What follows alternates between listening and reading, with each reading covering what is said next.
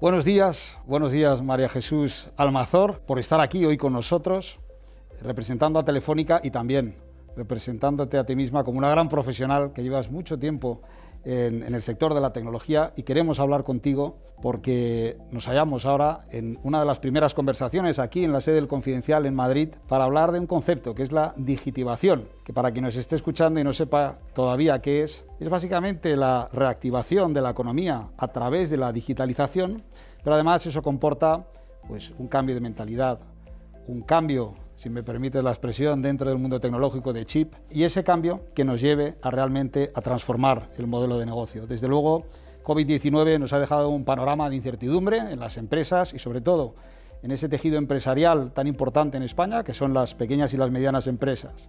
Entonces, en tu opinión, María Jesús, ¿por qué es importante la digitivación para la recuperación económica? Bueno, primero darte las gracias Luis por invitarme estar hoy aquí. Me encanta hablar de tecnología, así que voy a pasar un ratito muy agradable contigo que también la conoces muy bien. ¿no? Si tú miras los datos de lo que aporta la economía digital en el PIB de España, está pelín por debajo de la media europea y al final si ves todas las estimaciones que nos vienen estos próximos años, esto tiene que crecer mucho, tiene que subir mucho este peso.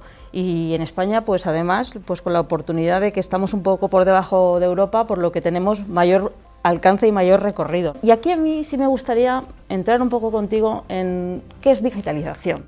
Para mí la digitalización es, por ejemplo, ahora, pues incorporar bien el teletrabajo en tu empresa, por ejemplo, ¿no? O mejorar y personalizar los tiempos de respuesta de, de, tus sistemas del servicio de atención al cliente e incorporar, por ejemplo, pues, soluciones de ciberseguridad para proteger la integridad de tu compañía.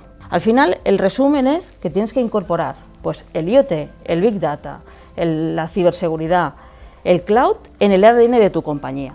¿Tú qué oportunidades ves en las pymes, en la digitalización? ¿Qué, nos puede aportar? ¿no? Bueno, las oportunidades son infinitas, tú lo estabas diciendo. A raíz de este cambio, que primero fue el informático y después ya el digital, a partir del año 2000, lo que se ha constatado es que las empresas se hacen más resilientes en cuanto hay una crisis o una dificultad. Primer punto. Segundo punto es que las empresas que crecen más exponencialmente también son digitales. Por lo tanto, la resiliencia y el crecimiento son factores que cualquier pyme puede recoger como gran oportunidad. ¿Qué tendría que ocurrir ahora para que, aprovechando este punto de inflexión, pudiera España, pudieran las pymes acelerar esta digitalización? Tenemos la base, la base para dar este salto. También es verdad que falta dar un poquito más, que es que las empresas incorporen la digitalización dentro de los planes estratégicos de sus compañías.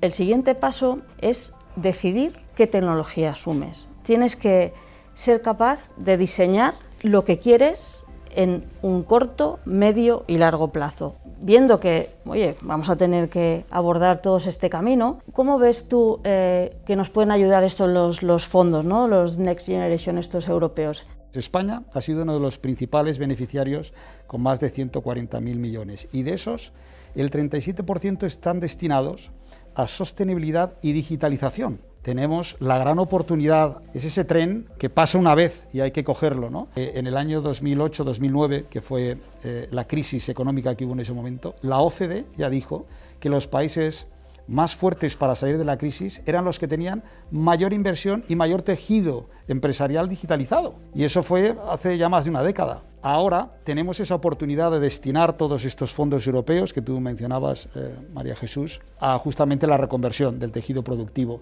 Con todo ello, eh, en, este periodo de pandemia, hemos podido ver también dos Españas, las grandes ciudades muy bien conectadas, muchas personas trabajando en remoto. Y recuerdo antes de, de, la pandemia, pues el trabajo en remoto suponía el 4% de la fuerza laboral y luego, durante la pandemia, llegó al 37%. Entonces, fue un incremento muy importante. Pero sí, efectivamente, habían partes, zonas, ¿no? regiones, eh, pueblos eh, en España que no tenían todavía la cobertura necesaria pues para o el teletrabajo o incluso la teleeducación para, para, para los niños. ¿Qué planes eh, tiene Telefónica para todas estas áreas? Porque el territorio es muy extenso, efectivamente, y, qué planes hay de Telefónica? Tenemos que decir que somos el mejor país de Europa en cuanto a conectividad. No hay ningún país eh, ahora mismo en Europa que tenga el 80% de cobertura de fibra Aún así, hablando de este 80%, que como digo es alto, no nos contentamos, no, vamos a seguir avanzando y la idea es seguir avanzando